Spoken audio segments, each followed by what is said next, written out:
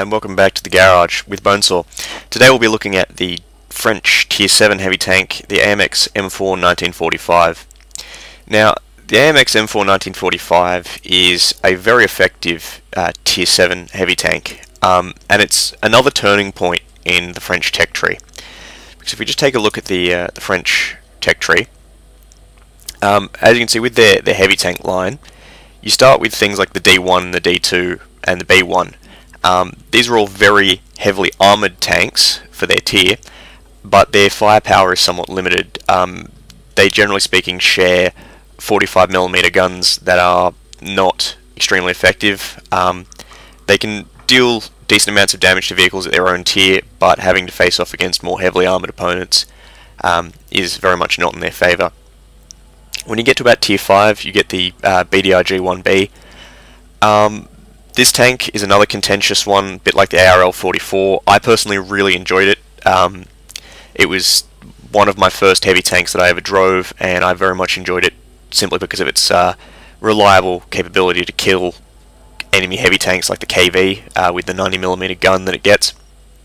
Um, but once again, it's it's something of a trade um, in that it gets a very effective gun, but has much less armor than the B1. It, it only has about, um, I think, 60 millimeters on the front, and much, I think, 40 or 30 millimeters on the side. It's not very heavily armored. And at tier 6, you get to the ARL 44.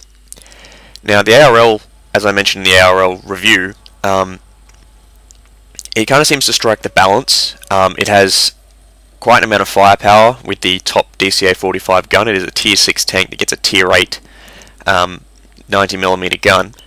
Um, and it also has a decent amount of hull armor with a, uh, a well-sloped 120mm frontal plate. Um, and it's really it's the turning point um, between, I guess you say, the French trend in heavy tanks, with the low tiers being heavy armor, poor gun. Um, in the upper tiers, it tends to go the other direction. They start trading off armor for the autoloaders, which you get on the AMX 50, um, all the way up to the AMX 50B. Um, the AMX M4 1945 is I guess it's the turning point. It's the the tank that you get to uh, adapt to the autoloader playstyle before you get an autoloader. So as you can see on the uh, stats listed on the side, it has 90 millimeters of frontal plate. Um, it's still sloped quite well, so that'll probably scale up to about maybe 130, 140 millimeters. Still not amazing. Um, the slope is not too heavy, so don't count on bouncing that many shots unless you're very steeply angled. Um, also, angling yourself, you can't really angle yourself um, like you can in the the uh, German heavy tanks like the Tiger, because with the Tiger, the Tiger only has um, 20 millimeters less on its side plates, so it has 80 millimeters side and 100 millimeters front. So when you angle yourself in the the diamond pattern um, with your gun pointing over the corner of your tank, um, you form essentially a triangle of 80 millimeters on one side, 100 millimeters on the other side, which then uh, due to the sloping increases to being about um, 150 and 140 respectively, um, or close to. Unfortunately for the AMX M4, it only has 40 millimeters of side plate. It does have a slight inward slope to it, um, which means you can very rarely get some lucky bounces on it, but generally speaking, your side armor won't protect you, and you really do not want to get shot in the side in this tank. Um, and you unlike the ARL where you had the, the suspension which could eat rounds because it went all the way around the tank, um, on the AMX M4 your suspension is down low, um, so generally speaking it won't protect you from uh, much incoming fire. Your turret is well rounded um, and it is 100 millimeters thick. However, um, once again, don't count on it to bounce shots because taking uh, shots into this upper facing here um, is a common occurrence and it's much much thinner than the 100 millimeters you will get penetrated through there easily. Um, the, the cupola for the commander is thankfully uh, quite low, meaning you generally speaking won't lose your commander. Um, the most common crew member lost in this tank is probably um, either the radio man located uh, behind the machine gun port here or the driver located behind the driver's port there, simply because your uh, frontal armor is so thin. Um, you can see aesthetically that this tank does look quite similar to some of the higher tier German tanks, like the uh, King Tiger or the uh, VK45 Alpha. Um, and there's a reason for this, and that was just the fact that um, this tank, along with many of the other French tanks, were developed um, immediately after World War II. In fact, this tank, as you can probably tell from its uh, numerical designation of 1945, was developed pretty much right on the end of the war, um, using information gathered from captured German heavy tanks. So as you can see, the uh, the rear engine deck very much resembles that of King Tiger or a Panther, um, with the, the, inward sloping, the um, the exhaust placement, and the air intakes there. Um, the turrets also, as you can see, the the precursor to those um, very modern battle tank turrets with the uh, hexagonal shape to give increased volume as well as adequate sloping. Um, overall, this tank is very mobile. It has a listed speed of 35 um, with the top engine, which is a uh, 850 horsepower Maybach, which is actually the same as the top engine on the Tiger.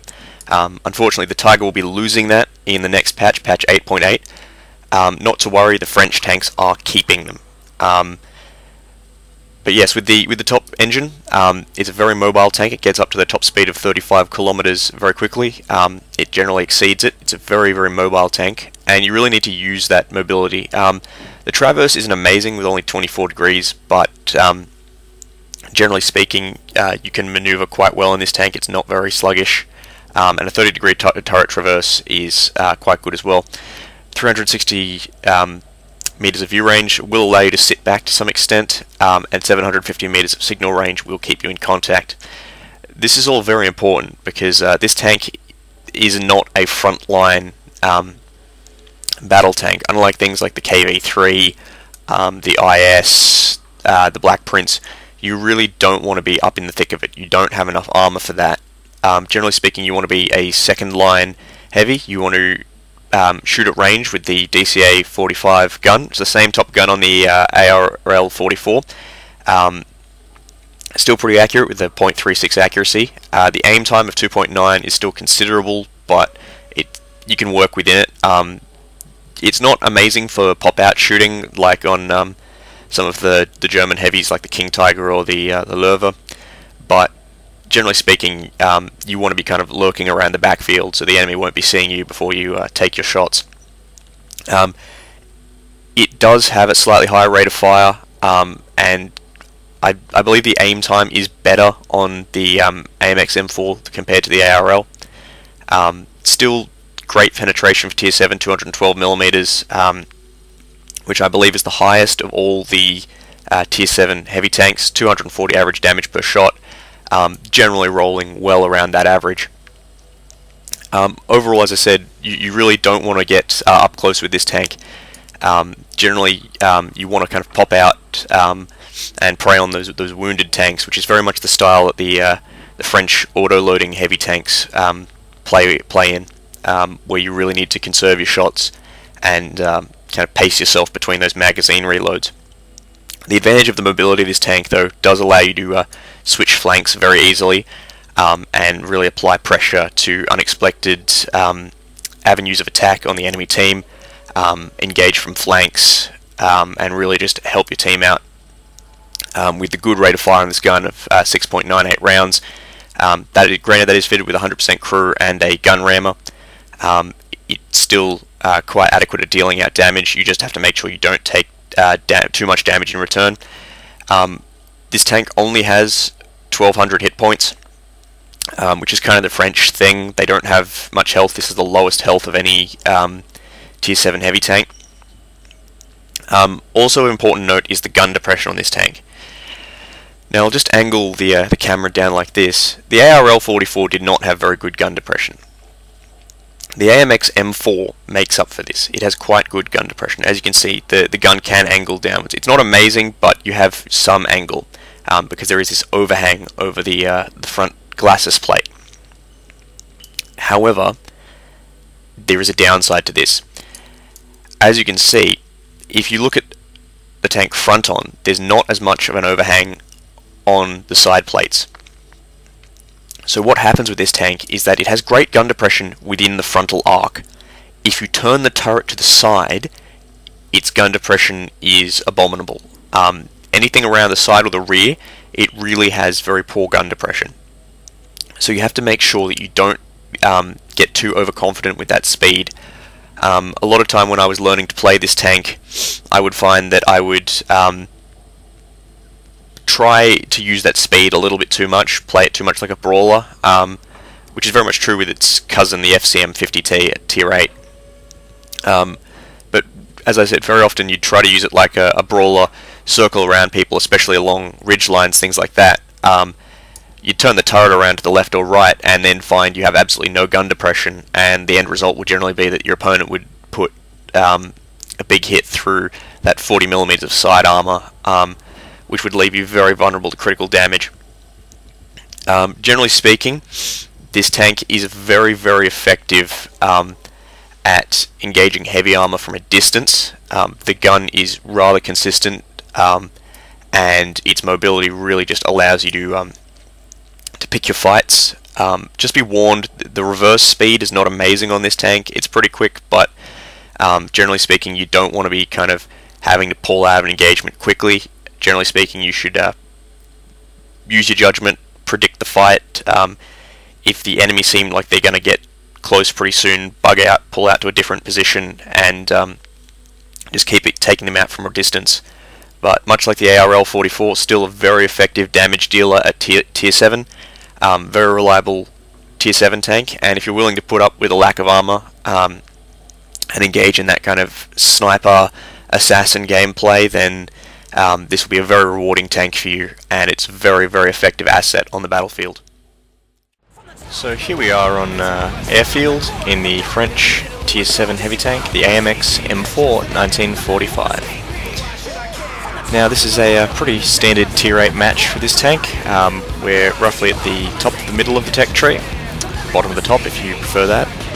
Um, and we're just going to roll up ahead here to uh, try and camp out the, uh, the seaside route. Um, I find that's a pretty good position for uh, tanks like this that don't have much armor but have uh, quite accurate guns. You generally want to take up a good overwatch position and just use these choke points to your advantage. Um, keep yourself hidden um, for the most part and just take shots that are advantageous. I'm going to hide the bulk of my tank behind this uh, rocky outcrop and just uh, pre-aim my gun in on that corner. we've made first contact with an enemy medium tank moving down the centre and we've got a second medium tank up on that uh, hill there in the centre. Now, I do have some concern about uh, what may be also camping out on the opposite side. Um, that ISU 152 is a huge concern. I absolutely hate having to fight those things. Um, their 152mm anti-tank gun can be very, very dangerous, um, and even though they're regarded as being uh, one of the lesser armoured vehicles um, in terms of tank destroyers at tier 8, um, they're very capable of getting lucky bounces. Uh, speaking of, um, that looked like a bounce, that actually went into his tracks, and I damaged his tracks. Um, because tracks now count as spaced armor, um, in World of Tanks, if you do hit someone in the tracks and it says bounced off, um, more than likely you've actually damaged their tracks. Alright, Fegelein is moving ahead. Um, possibly going to get some scalps for me. He takes a uh, hit there from uh, something, we're not quite sure what, um, and a tiger reveals itself up on that ridge line. He puts a shot into Fegelein, and uh, I'm going to retaliate against the tiger. Slightly low damage roll there, but uh, as you can see the very high penetration of this gun um, taking into effect. Our uh, Su-122 firing some rounds as well. Fegelein has taken a lot of damage there. Um, he's not in a particularly good position um, and unfortunately he can't really pull back. I believe he's lost his track. So I'll uh, track that tiger in return and uh, finish him off with my final shot. Um, unfortunately I was not fast enough to save Fegelein and uh, the tiger finished him off. As you can see this uh, long 90mm gun, the DCA-45, um, is still very effective. Um, not quite as insane as it was on the uh, ARL-44, but it's got a much higher rate of fire and um, aim time on this tank. I'm just going to advance up onto this central hill here to try and get some uh, shots across into the uh, D, D5 sector around about there to uh, support our team. Um, and also because I'm pretty confident there won't be any tanks pushing around the, uh, the J sector. I'm um, just going to move around here to engage the enemy. Now, uh, being very cautious, um, and a T-44 does make itself apparent. Um, the gun depression on this tank, as I noted, um, is a bit squiffy when it goes to the side um, because it doesn't have enough overhang to depress, so I'm kind of having to re-angle my hull in order to be able to uh, engage on this slope. Um, and just trying to maneuver to keep keep things in my favour. I managed to uh, eat some of the rounds on my tracks, um, trying to angle my front plate. Um, although this tank isn't very heavily armoured, it only has about 90 millimeters of front plate, um, using that angle can still be very effective. As you can see there, I took a shot in the side plate, and I'm very lucky that it did not damage my ammo rack. Um, losing your ammo rack on this tank uh, can be a tremendous loss, um, as it really lowers your DPM. Alright, so I'll put a, uh, a, shot into that T-44, nice 300 damage roll there, and uh, reload in time to finish him off. Alright, so I'm going to maneuver around up on this ridge again, try and get some more shots across to uh, the D sector. Unfortunately, most of the enemies there have either moved on or been taken out, so uh, my position up there isn't exactly uh, useful anymore. Um, instead, I'm going to probably turn around to uh, engage that heavy tank that's just made itself apparent down there, just uh, after I checked that that tank destroyer did not, in fact, uh, make itself vulnerable to me. I'm also a little bit worried about that heavy tank coming up behind me. Um, the Black Prince does take my track off, but I repair it and uh, manage to get away before he gets a second shot into me. Now I come down here to engage this uh, T-29. Uh, he was the one I shot the track off earlier. Um, unfortunately, our uh, Su-14-2 takes him out. Now, as you can see, um, things aren't going all that well for our team. Um, at the moment, we are taking some significant losses. Um, we do have two very powerful tanks in the midfield, a ISU-152 and Black Prince. Um, and our T-32, who's already dead, is raging in the chat. However, I'm going to sneak along here because I know that there are no enemies guarding this approach anymore except for perhaps our two artillery pieces, and uh, provided that I don't really take a direct hit, um, I can most assuredly kill them. Uh, and as you can see, a tree just fell over there, so I know where they are. And uh, next we'll show you kind of what happened now that um, they've changed the normalization values in World of Tanks. And it's one of the most baffling things I've ever had happen to me. AMX-13F3. He has roughly 30mm of front armor. And I bounced.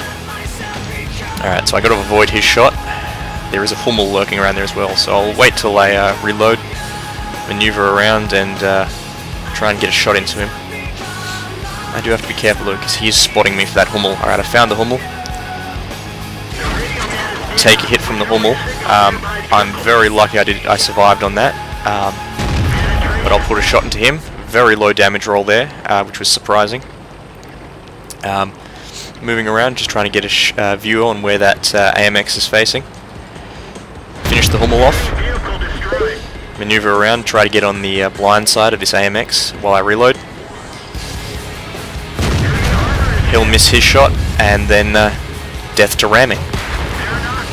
So that's uh, four kills in the uh, AMX M4. Um, as you can see, it's a very effective tank, um, you play it right and uh, try to conserve your health due to that low armor.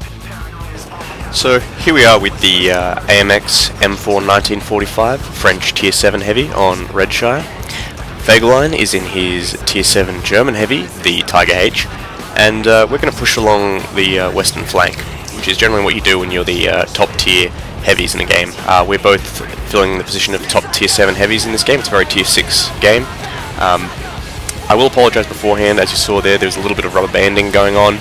Um, I don't know what the reason is, but for some um, peculiar oddity um, in the 8.6 and 8.7 um, replays. Some of them have been having issues with uh, rubber banding. You can see the M7 will do it um, a little bit as well. Um, and my tank will do it a little bit in this game. Um, this is not indicative of actual gameplay footage. The um, In the actual game when I played it everything was fine, it's just the replay file. Um, and generally speaking, when I'm shooting it doesn't happen, it's mainly when I'm moving, but I will uh, apologise anyway. So as you can see, the uh, the AMX M4 has a, a good turn of speed, easily overtaking uh, Tiger there. I'm up to uh, my top speed of about uh, 35 kilometers at the moment, and just moving along this western flank to uh, counter any mediums that might be trying to uh, do a, flank push here. Um, If there aren't any mediums, we will then circle around along the the one line and try to encircle the ridge line. So I'm just uh, trying to stick to the valleys as much as possible. Uh, the AMX M4 does not have very much armor, and I'm very much trying to conceal myself because I do not want to be taking any side shots. Um, with only 40mm of armor on the side, um, I am particularly vulnerable at the moment, so really just it's about concealment. Um, just popping over this ridge here, trying to get a snapshot in, in case there are any um, mediums attempting a similar uh, tactic. But uh, at the moment this uh, position seems clear, so we're uh, moving on ahead. I have Fegelein and another heavy tank uh, behind me in support, and we've just gotten spots from our allies on a uh, medium tank, and he's a uh, VK3601H. So I'm going to move over here, uh, keep myself angled towards the ridge line, um, try and get a shot in on the VK, but he's on fire, and I don't get a shot before he dies. So I'm just going to try and back towards into the uh, valley again, reverse around and continue the assault. However, we have uh, spotted a tank destroyer, so I figured it's worth getting a shot on him. And here you can see the uh, somewhat finicky depression and elevation on this gun. I had to reverse in order to uh, get my gun onto bear, but unfortunately I uh, don't get a shot at that uh, Su-100 at the moment. Alright, we've now got a spot on a uh, T-34-85 thanks to that Cromwell, and just aim the gun in. And as you can see, even though he's angled, this will just cut right through his armor for a good 258 damage roll. Um, that's slightly above average. Um, generally this gun sits right on the average or just above, um, which is very good. Um, owing to its rate of fire and uh, good penetration, you can do some very consistent damage. Uh, so our, our, Cromwell spotted some more things on the ridge line, but I'm just going to move around here and try to engage this uh, Su-100. Um, he's not too much of an issue. He can damage me, but uh, my gun is superior. However, we spotted another Su-100 up on the ridge line. I think he he's worth taking out because he's on low health. So even though he's backing up, I'm going to uh, take the shot. Bam, right through the uh, front plate for a kill shot. As you can see, uh, even though it's it's uh, the same gun you had on the ARL at tier 6, the uh, DCA-45 with 212mm of penetration is still highly effective at tier 7. As you can see, finishing off another Su-100 in the rear. Um, it is potentially more effective on this tank, simply due to uh, this tank's mobility. The ARL was not a particularly mobile tank, um, and at tier 7, um, with the high top speed of this tank for a heavy um, you, and good gun depression, you really can bring it to uh, bear in, in different locations um, along the flanks, like um, I'm doing right now. So we've got some uh, spots on the cliff, unfortunately our T-21 was destroyed by an enemy ARL. So I'll move up to engage this uh, KV-1S and uh, finish him off with a single shot to the uh, flat section of his armor. Um, and as you can see, that's really where the accuracy of this gun comes into bear. Um, I could have easily bounced had it been an, another gun, um, but the DCA-45 has enough accuracy that you can, really can go for those uh, very assured um, penetration areas, like the, uh, the, flat sections of hull on a uh, KV-1S. Uh, so we've got an ARL with the barn turret, and I'll uh, put a shot through him and leave Fegelein to finish him off. I need to give some credit to Fegelein. Um, he only gets one kill in this game, but he actually does a lot of very good damage. Um, so I'll shoot the Cromwell. Bounce a shot in return from the Cromwell, um, which was unexpected, um, but it does happen. So I'll uh, put another shot with the Cromwell, slightly below average, um, leaving him on 17%.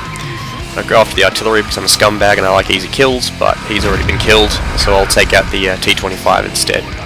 And that just leaves the Cromwell on 17%, and our allies are uh, rushing the hill. So that's uh, four kills on uh, Redshire. As you can see, that uh, DCA-45 90mm gun is still incredibly effective at Tier 7, um, more than capable of uh, dealing your own weight and damage back.